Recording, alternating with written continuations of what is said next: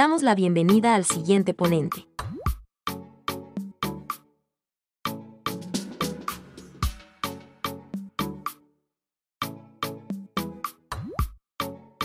Doctor Jonathan Gialanis Lara.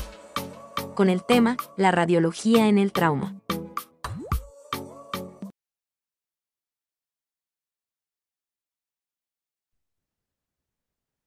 Muy buenos días a todos, bienvenidos al noveno Congreso de Imagenología de Imagen Diagnóstica y Terapéutica de México AC. Es un honor, es un gusto para mí estar con ustedes compartiendo este espacio.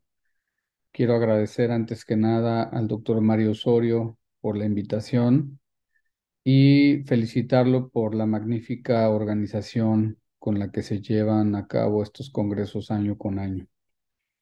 Eh, agradecer mucho también el esfuerzo que se lleva a cabo para, para lograr estos eh, resultados.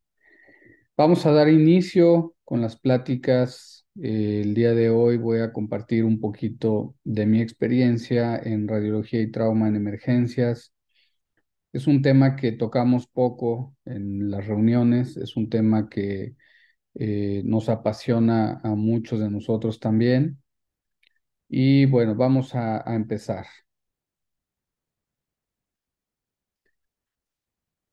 ¿Qué es lo que nos representa eh, el área de emergencias? Eh, quise poner esta caricatura, esta ilustración magnífica de mi buen amigo, el doctor Alberto Barrón, médico radiólogo también, y eh, pues representa la importancia eh, que tiene la rapidez con la que hagamos las cosas, con la, con la que actuemos en, en, el área de urgencias, porque esto va a representar eh, que el paciente pueda obtener un diagnóstico lo más pronto posible y así un tratamiento oportuno que en la mayoría de las ocasiones puede, puede salvar la vida. ¿Cuáles son los objetivos de la plática? Pues básicamente es determinar nuestro rol eh, como médicos radiólogos en el departamento de urgencias, hasta dónde podemos llegar, incluso también como radiólogos intervencionistas. El conocer la patología más frecuente por región nos va a ayudar, nos va a facilitar identificando el evento en cuestión. Es muy importante la referencia clínica porque esto va a dirigir también nuestra atención y, no perder minutos valiosos. Eh, considerar otras entidades o asociaciones patológicas. Es importante extender e ir más allá eh, a veces de lo que nos solicitan eh, los médicos tratantes y ahorita vamos a ver por qué. Y esto se puede mejorar con una adecuada comunicación con los médicos referentes, los médicos tratantes, nosotros somos parte fundamental, una pieza fundamental del equipo multidisciplinario en todas las áreas del hospital y, eh, por ende, eh, en el área de urgencias. Es importante integrarnos eh, al equipo multidisciplinario, sentirnos parte de él, para así poder ofertar mejores oportunidades diagnósticas para eh, los pacientes, sobre todo. Todo se centra en ellos. ¿Qué podemos esperar en una sala de urgencias? El tema es muy vasto. Podemos eh, ir desde el abdomen agudo, el trauma, los eventos cerebrales, eh, los eventos metabólicos, urgencias cardiopulmonares, Debido a que esto es muy extenso, nos vamos a enfocar básicamente en, tocar algunos temas más frecuentes en el área de trauma y en abdomen agudo, compartiendo algunos casos. Eh, toda nuestra atención siempre se centra en los traumatismos más frecuentes, eh, en las fracturas o las lesiones óseas más frecuentes debido al trauma quiero compartirles con ustedes estas eh, fracturas o estas lesiones eh, que se dieron de una forma muy peculiar. En el primer eh, caso, pues es la radiografía de un niño, de un pequeño, donde tenemos fracturas desplazadas en el segmento proximal del radio y el cúbito, con un edema de tejidos blandos significativos. En el segundo caso, el, el, el, segmento proximal del cúbito. Y en este caso vemos un cuerpo extraño. En el primer caso es una fractura por mordedura de perro. Un pitbull le prensó la mano al niño.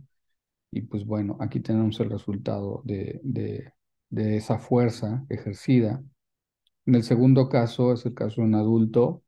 Este se debió por una mordida de burro.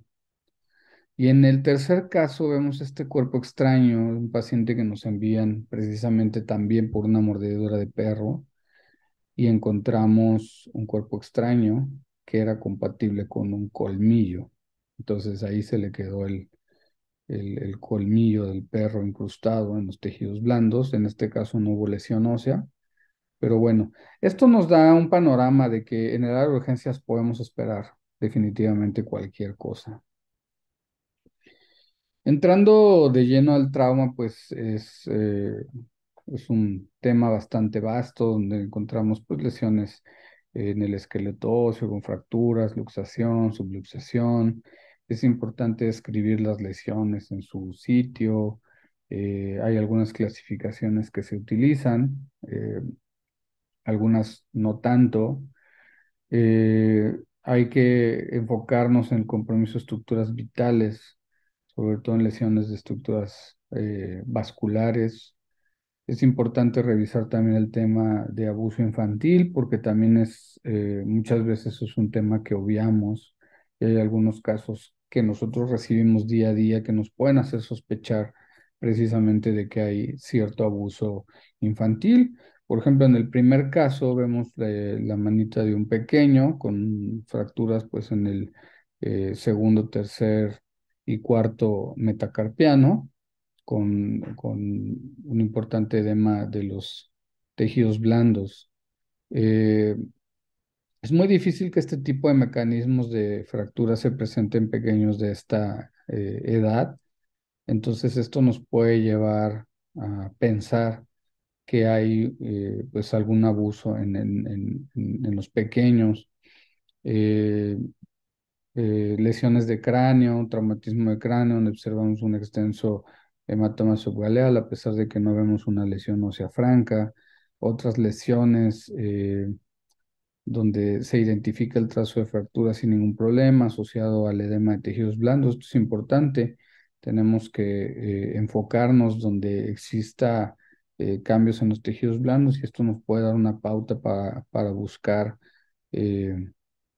de forma más dirigida en dónde se encuentra la lesión, eh, porque también en muchas ocasiones los, eh, los padres cuando acuden con los niños no aportan muchísimos datos de cómo fue el mecanismo de la lesión, que si se cayó de la cama, que lo empujó algún otro eh, primito que era más grande, este, y bueno, este es un, es un, es una causa de consulta de los pediatras a nuestro servicio, porque en muchas ocasiones eh, las lesiones se pueden confundir con estructuras vasculares o generan mucho ruido cuando, cuando hay estructuras vasculares o, por las suturas, pero siempre es importante enfocarnos en revisar todo el panorama y también lo que nos puede ayudar mucho, como les mencionaba previamente, pues son las, las alteraciones en los tejidos blandos cuando las lesiones no son tan obvias, ¿no? Entonces, eh, eso nos puede dar mucho. El trauma es la principal causa de muerte, hospitalización y discapacidad en pacientes norteamericanos. Eh, no sé, no estoy seguro si tenemos alguna estadística como tal eh, en nuestro, pues nuestro medio. Este puede ir desde el primer año hasta los 45 años como principal causa de, muerte, hospitalización, discapacidad. El trauma cerrado eh, es el más común y generalmente lo relacionamos con eh, los accidentes viales. Trauma penetrante, pues se, eh, lo vamos a encontrar principalmente en lesiones por arma blanca y arma de fuego. Estas imágenes hoy en día cada vez se vuelven mucho más frecuentes eh, en nuestros eh, centros, en nuestros hospitales, en nuestras clínicas, debido al aumento de la violencia en nuestro país. Y vamos a encontrar un sinfín de eh, y una variedad de lesiones por, pues, por mecanismos de, pues, de arma de fuego, eh, impactos de bala que pueden lesionar tanto estructuras óseas, tejidos blandos, eh, puede ser en algunos otros casos mucho más dramáticas que otras. Sin embargo, es importante eh, la descripción de esto y tal vez apoyarnos con estudios, dependiendo del estado del paciente, apoyarnos con estudios de apoyo como la tomografía en el caso de que haya sospecha, tomografía ultrasonido en el caso de que haya sospecha de lesión vascular o, a otros órganos. Tal es el caso de este paciente, es una lesión eh, por arma de fuego, eh, se lesiona por el mecanismo de, de calor y de las esquirlas eh, que pudieron haber atravesado por ahí, la arteria subclavia del lado derecho, eh, existía aumento de volumen, una masa pulsátil, se identifica en la angiografía un pseudoneurisma de la misma por la lesión del vaso y bueno, en el área de radiología intervencionista se procede a colocar un stent cubierto para excluir eh, dicho eh, pseudoneurisma como tratamiento. También en, en, en algunos casos nosotros siendo los que dominamos pues los métodos de imagen como es el ultrasonido, podemos ser un gran apoyo en el área de urgencias para la colocación de catéteres centrales cuando hay pacientes eh, con choque hipovolémico o pacientes eh, con difícil acceso vascular. Eh, en este caso, en, el área de urgencias nos solicitaron el apoyo cuando bajamos a, realizar muchas veces el FAST, eh, nosotros podemos intervenir y tenemos todas las herramientas eh, técnicas para realizarlo. El trauma torácico es muy común, es responsable de una de cada cuatro muertes que se relacionan con el trauma. Las fracturas costales más frecuentes van del cuarto al noveno arco costal. En el caso de las fracturas inestables, tenemos que tener cuidado por eh, que pueden ocasionar neumotórax debido a, la movilidad. Em, en el caso del décimo al doceavo arco costal, tenemos que tener cuidado y, enfoque en descartar lesiones hepáticas o esplénicas. En la mayor parte de las ocasiones podemos encontrar eh, enfisema subcutáneo. Em, generalmente, y el primer estudio de elección, pues es la, los rayos X. Aquí tenemos algunas eh, lesiones costales desplazadas, eh, inestables.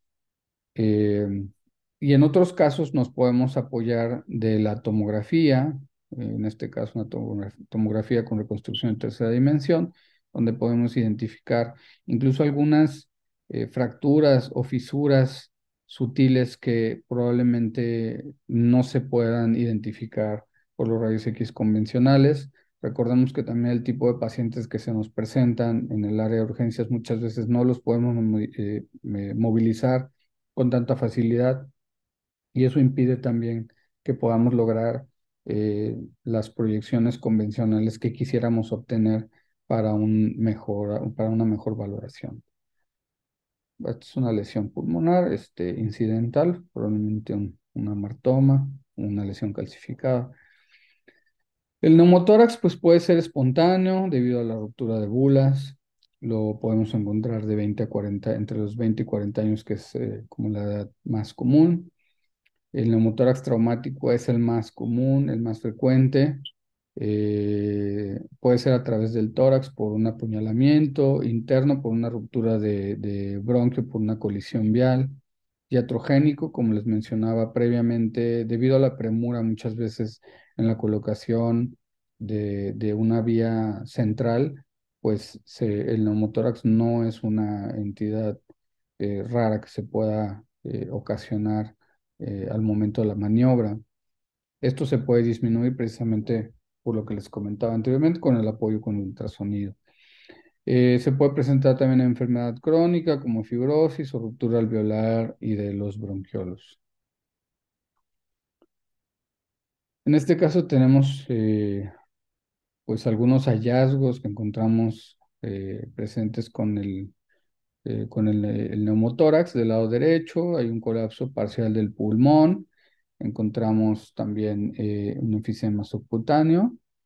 posiblemente también por ahí se debiera identificar alguna fractura y eh, también identificamos una pequeña zona de contusión eh, pulmonar. Más adelante vamos a tocar este, este tema. El neumotórax, atención, pues se presenta cuando ya hay un desplazamiento de las estructuras mediastinales hacia el lado contralateral.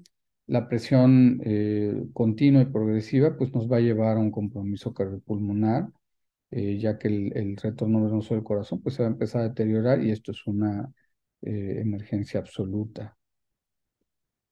Las eh, anormalidades parenquimatosas que se relacionan al trauma, en, el estudio previo veíamos precisamente una pequeña zona de contusión pulmonar, se ve como un pequeño foco de consolidación, es, es la, complicación más frecuente del trauma cerrado, eh, nos va a representar un sangrado dentro del pulmón, generalmente en el sitio del impacto.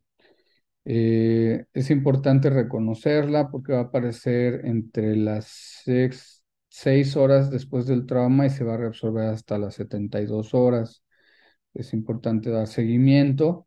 ¿Y cuál sería la diferenciación con la laceración pulmonar? En la laceración pulmonar se puede presentar un hematocele traumático o un hematoma, que es como también se le, se le, se le denomina, y son eh, cavidades que se pueden eh, llenar completamente de sangre, son masas ovoideas, sólidas, eh, vamos a identificar niveles hidroaéreos en su interior, algunas únicamente están llenas de aire con un aspecto de quistes con contenido aéreo.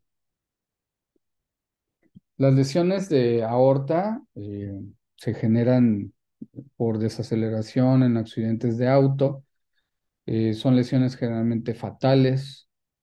Tenemos muchos falsos, falsos negativos en, en, rayos X con algunos signos radiológicos que se describen, como la pérdida de la sombra habitual del callado aórtico, el derrame pleural del lado izquierdo, desviación traqueal o esofágica a la derecha. Sin embargo, estos hallazgos en muchas ocasiones no los encontramos o son muy sutiles y está eh, indicada, está indicado realizar una tomografía con contraste.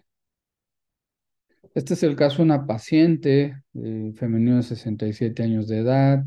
Nos refieren a la sala de urgencias por dolor abdominal secundario a accidente automovilístico.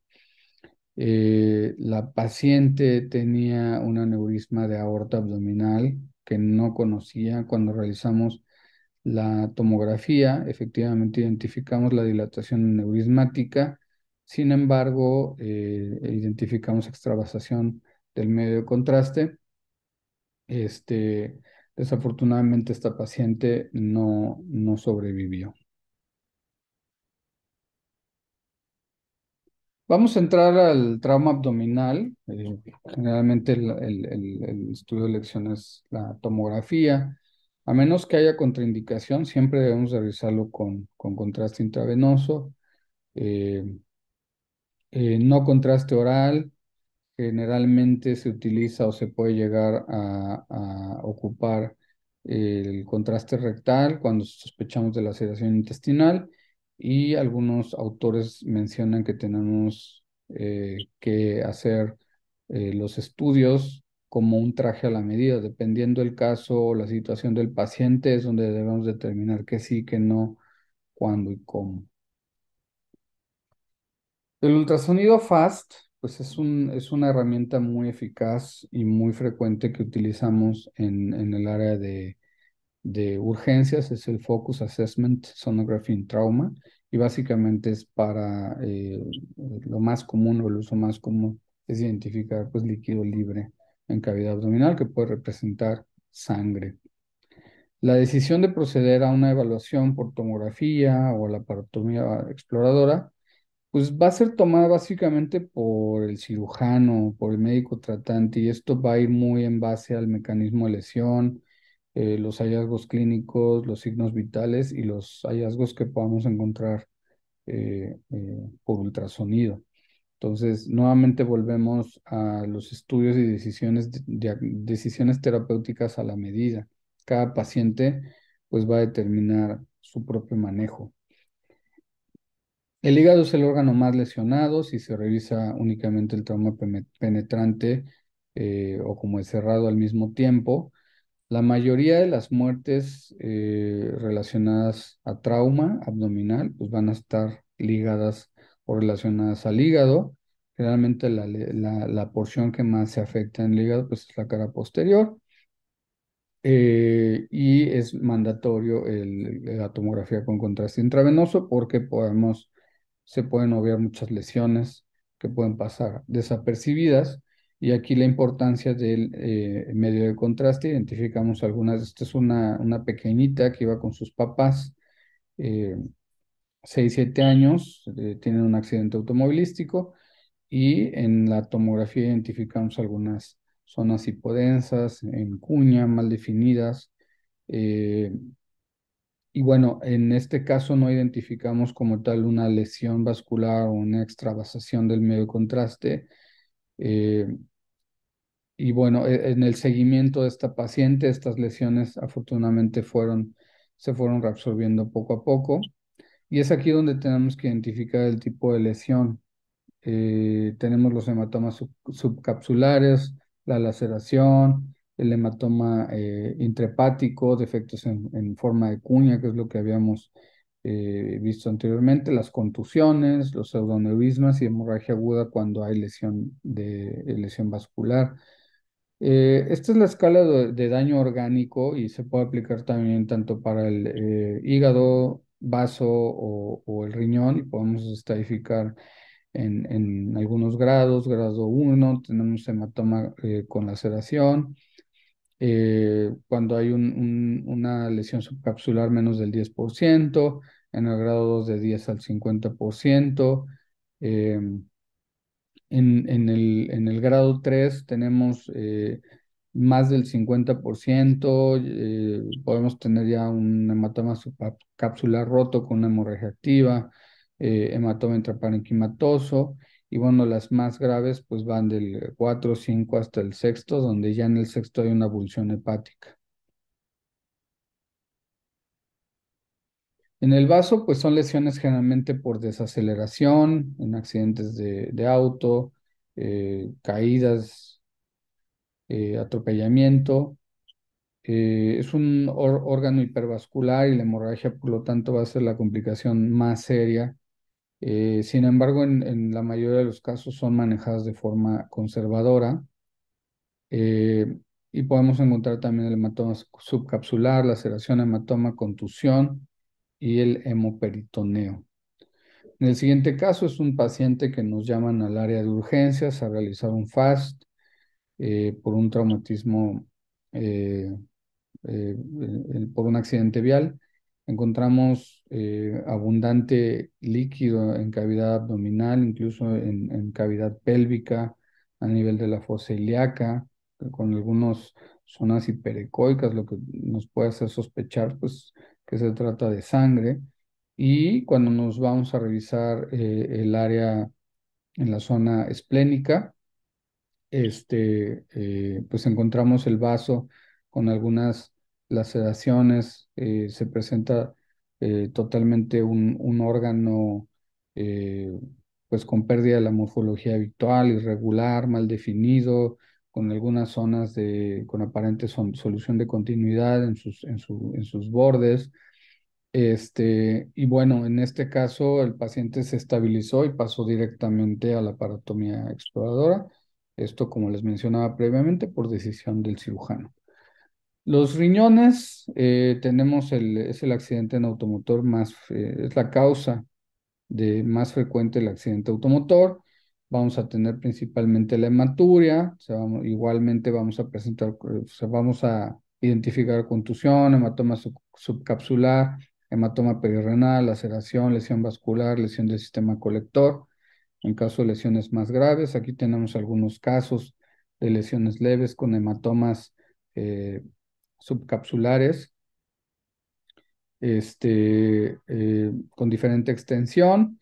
No vemos una, una lesión aparénquima o una laceración importante, eh, o mejor dicho, ausente. En estos casos son las formas más leves, los grados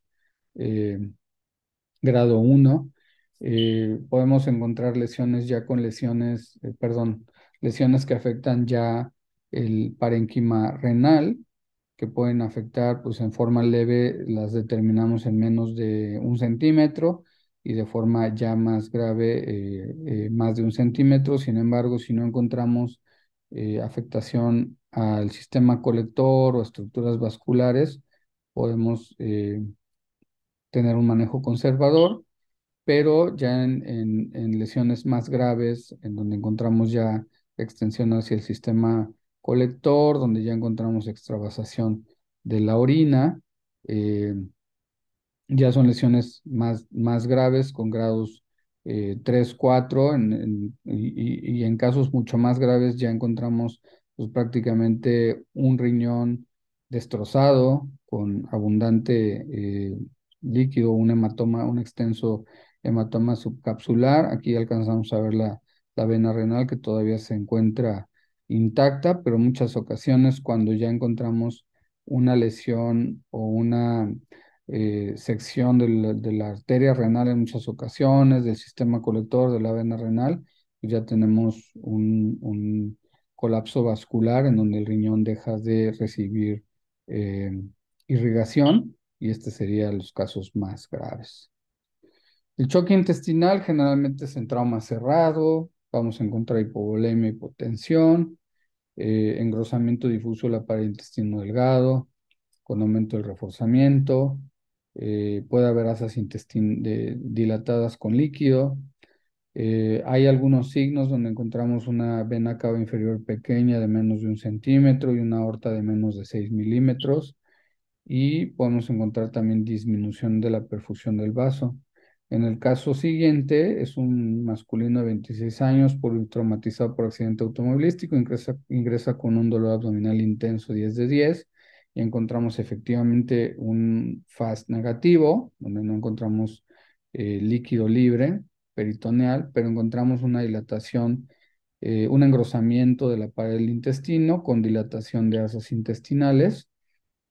El cirujano decide eh, mantenerlo en, manejar el dolor, mantenerlo en observación. Eh, se realiza nuevamente 24 eh, horas después un ultrasonido abdominal y a las 48 horas el paciente refiere persistencia del dolor con misma intensidad y encontramos ya perforación de asas intestinales con extenso, extensa inflamación periférica y líquido libre en cavidad pélvica. Como les mencionaba, es muy, muy importante involucrarnos en la parte eh, del equipo multidisciplinario para que nuestras decisiones también sean tomadas en cuenta. Si sabes que, doctor, tenemos una, un, posiblemente estamos enfrentándonos a un choque eh, intestinal y eh, pues no podemos esperar, necesitas entrar a la parotomía exploradora para precisamente evitar estas complicaciones como el caso previo. El trauma pélvico, pues encontramos ruptura vesical en el 70% de las fracturas pélvicas. Eh, podemos hacer cistografías por tomografía, en la cual llenamos por gravedad o por urotomografía en fase de eliminación y llenado vesical para hacer una adecuada valoración de la vejiga. Eh, hay ruptura extraperitoneal en el 80%, ya sea por punción directa eh, o contraste alrededor de la vejiga o que se extiende al espacio retropúbico. Eh, ruptura intraperitoneal, tenemos trauma contundente en vejiga llena, sobre todo en los niños. Este, y bueno, el contraste se encuentra el libro regado en la, en la cavidad. También encontramos las lesiones uretrales, que son mucho menos frecuentes, tendrían que ser en, en, traumas eh, significativos, sobre todo en hombres, eh, trauma, en trauma cerrado, Encontramos también fracturas cabalgadas de pelvis o lesiones penetrantes. vamos a evidenciar eh, datos de hematuria, sangre meato urinario o incapacidad de vaciamiento vesical. Podemos utilizar la uretrografía retrógrada. La sonda la tenemos que dejar únicamente en, el meato para evitar condicionar mayores lesiones. Eh, y lo más frecuente es encontrar lesiones en región posterior, proximal a la uretra vulvar, en donde vamos a encontrar contraste o extraluminal, este, contraste extraluminal, extravasación del contraste. Vamos a revisar un poquito el abdomen agudo con algunos casos. Tenemos el tiempo ya un poquito limitado, nos vamos a ir un poquito más rápido. Eh, pues el abdomen agudo es todo proceso patológico intraabdominal de reciente inicio, cursa con dolor, repercusión sistémica y requiere un rápido diagnóstico y tratamiento. El médico diagnostica lo que busca y busca lo que conoce. Eh, hay que valorar adecuadamente al paciente con molestias abdominales y estar familiarizado con la mayor parte de las enfermedades que afectan al abdomen. Las etapas diagnósticas, uno pues es la de orientación, después presunción y después el etiológico. Con estos pasos podemos lograr mucho más cosas. Eh, ¿Cómo se nos presenta? Pues generalmente es una presentación brusca, eh, se presentan signos y síntomas generalmente alarmantes, y puede ser cualquier enfermedad. Eh, tenemos que tomar decisiones urgentes, tanto diagnósticas como terapéuticas. Y los principios básicos, pues el dolor es el principal síntoma, el diagnóstico se basa en interrogatorio examen físico, el abdomen agudo es una urgencia abdominal, necesitamos un diagnóstico rápido, un tratamiento temprano, aunque es importante mencionar que no todos no todo es eh, quirúrgico y tampoco no todo es apendicitis, como vamos a ver eh, en los casos siguientes. Las causas, pues es un universo de causas. Eh, tenemos que enfocar la información del clínico, donde a veces nos dejan solamente dolor abdominal, dolor abdominal estudio, dolor abdominal difuso. A veces tenemos solicitudes en blanco y esto nos lleva pues un, un laberinto de posibilidades donde nos dejan colocados como pues un detective y tenemos que estar buscando, eh, ya sea con los métodos de imagen, eh, pues el origen o la causa del dolor. Hay un estudio, un artículo que reporta que el 44.8% existió congruencia clínica diagnóstica y en el 55.1% no hubo con correlación con los datos que nos enviaba el, el, el, clínico. Esto pues se debe a una pobre minuciosidad en la exploración clínica y pues nos lleva a una clínica en desuso. El caso número uno es un paciente de 35 años, es enviado a la sala de urgencias por dolor abdominal difuso localizado en hipocondrio derecho. Descartar colecistitis versus litiasis. Esto decía la solicitud. Eh, al realizar el ultrasonido nos extendemos un poquito más abajo a la fosiliaca derecha, lo que les comentaba, ir un poquito más allá de lo que nos envían y efectivamente encontramos un fecalito en la topografía del apéndice con un engrosamiento eh, de la misma y alteraciones en la grasa periférica. Y pues bueno, a la hora de realizar la tomografía encontramos un engrosamiento evidentemente del apéndice secal y eh, escaso líquido periférico con extracción de la grasa.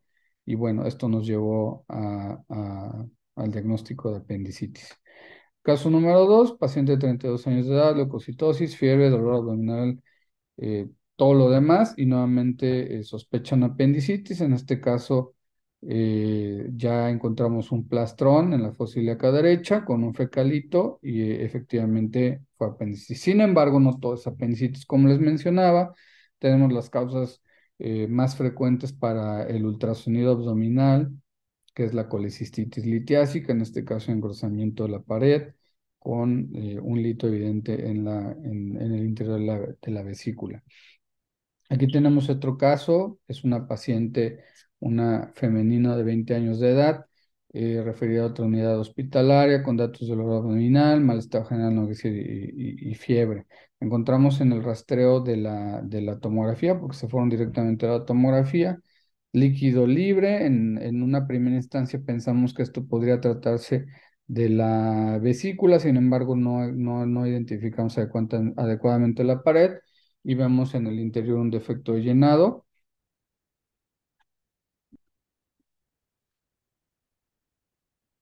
Y en este caso se trató de la, pues de la misma vesícula que estaba colapsada. Curiosamente, al día siguiente tuvimos un caso similar, paciente de 25 años, mismos síntomas, misma imagen, eh, una imagen quística con un defecto de llenado.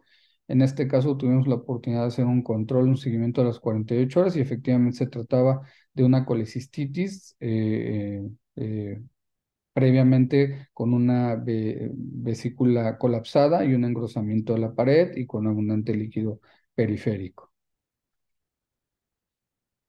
En este caso tenemos eh, otro caso, eh, femenino de 24 años de edad, eh, ultrasonido inguinal derecho por dolor secundario a una hernia inguinal. El ultrasonido inguinal fue negativo a cualquier patología. el dolor se extendía a a la fosa ilíaca derecha, la biometría hemática demostraba leucocitosis y nuevamente se enfocaron en apendicitis. En este caso fue una, una tumoración, en este caso lo publicamos, fue un GIST de la unión eh, iliocecal que se agudizó, por cierto.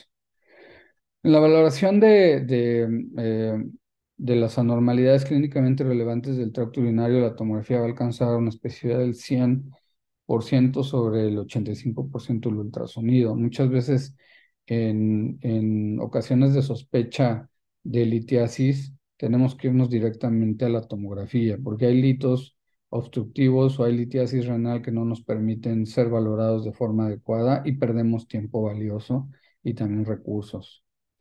En los casos del riñón podemos encontrar eh, riñones con diversas morfologías de forma eh, incidental sin necesariamente tener una patología aguda.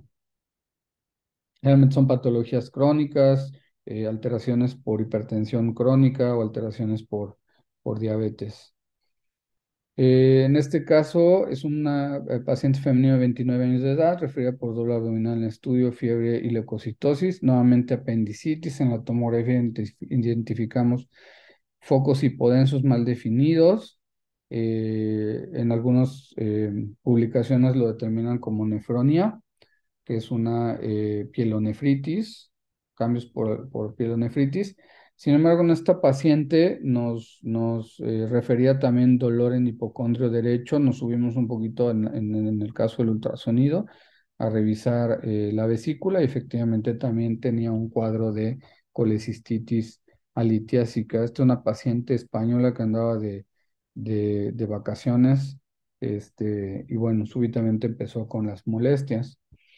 En, el, en este otro caso tenemos un masculino de 30 años de edad, quien es referido por, por eh, urgencias por dolor abdominal, flanco derecho, irradiación a la fosiliaca y diagnóstico nuevamente apendicitis. No todo es apendicitis, tenemos algunos eh, discretos cambios inflamatorios de la grasa perirenal del lado derecho, conectasia eh, pielureteral y efectivamente a nivel de la unión eh, ureterovesical del lado derecho, encontramos una imagen que correspondía a un lito que estaba enclavado. Pancreatitis, pancreatitis, tenemos muchísimos casos también en, el área de urgencias y, bueno, algunas son más dramáticas que otras. Tenemos la clasificación famosísima de Baltázar con los grados ya conocidos. Eh, esto lo podemos integrar al índice de severidad tomográfica donde ahí ya valoramos la, extensión de la necrosis y nos puede dar eh, pues un panorama o un pronóstico del paciente. Como les mencionaba, pues tenemos eh, algunos casos muy leves donde el páncreas apenas sí tiene alteraciones eh, intrínsecas o cambios periféricos, pero sí líquido libre. Y algunos otros casos de más severos, en este caso ya una pancreatitis crónica con formaciones eh, quísticas y pseudoquísticas. Aquí encontramos también, pues nos damos cuenta que es una paciente nefrópata por las, eh, la presencia de las características de los riñones. Paciente femenino de 41 años de edad, dolor pélvico, descartar alteraciones anexiales. El ultrasonido pélvico es totalmente normal, no identificamos líquido libre. Sin embargo, nos fuimos precisamente a donde la paciente refería el dolor, que era la fosa ilíaca izquierda, encontramos eh, coprostasis significativa eh, que corresponde al, pues, al colon descendente y una zona focal con engrosamiento de la mucosa del mismo. Y al realizar la tomografía, pues nos encontramos con una diverticulitis. En este caso, eh, paciente femenino de 26 años de edad con dolor abdominal pélvico, diagnóstico de envío, nuevamente descartada apendicitis. es una eh, colección de las probables apendicitis que no fueron. En el ultrasonido pélvico, pues identificamos eh, líquido libre por ahí, el ovario eh, derecho normal, nos llama la atención el engrosamiento significativo del, del endometrio. Y bueno, en este caso era una apendicitis que latía en el anexo izquierdo, lo corresponde al ovario, encontramos pues un embarazo ectópico con todo y, el embrioncito. Este, incluso tenía pues, latido, como les mencionaba, y pues esta paciente entró definitivamente a cirugía de urgencia. El caso 10, paciente masculino de 39 años de edad, antecedente esplenectomía, esplenectomía por policitemia vera, eh, al momento de realizar la exploración, en el músculo pectoral mayor izquierdo encontramos únicamente datos de enfisema, no encontramos ninguna otra eh, alteración. Este paciente lo mandaban por sospecha de una lesión eh, muscular, una alteración muscular. Sin embargo, pues nos fuimos a revisar el evento quirúrgico en, la fosa esplénica e identificamos una gran colección, lo cual correspondía precisamente a un hematoma. Eh, nos interconsultan como radiólogos intervencionistas, pues realizamos, eh, realizamos el drenaje percutáneo.